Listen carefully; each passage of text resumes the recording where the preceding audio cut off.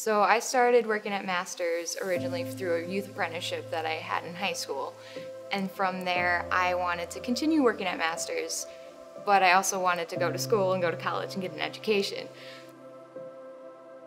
After searching a bit, I came across Lakeland University, and that allowed me an opportunity to be part of the co-op program. Through Lakeland University's co-op program, I'm able to earn credit, earn cash, and also get real world experience. Jessica started out as a youth apprentice and then sought out Lakeland uh, for her secondary schooling. It was beneficial to keep Jessica on board because she already was very integrated into our systems. She always had the intention of graphic design in mind, so we, we knew that she's very good at that. She's been doing that, she's great with our people, so it made sense to just keep her on and, and keep her being successful at what she's doing.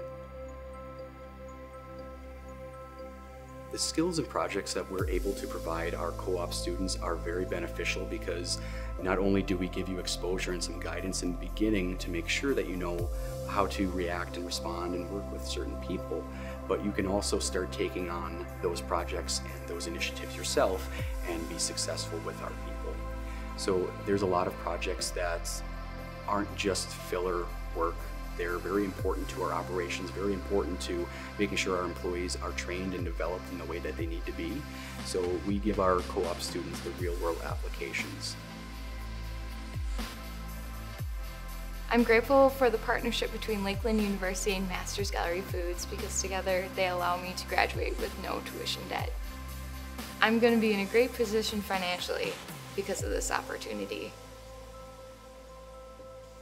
After graduation, I'm hoping to stay at Masters Gallery Foods as their training content developer, and then from there grow in my position and grow into more leadership positions and grow more as an individual.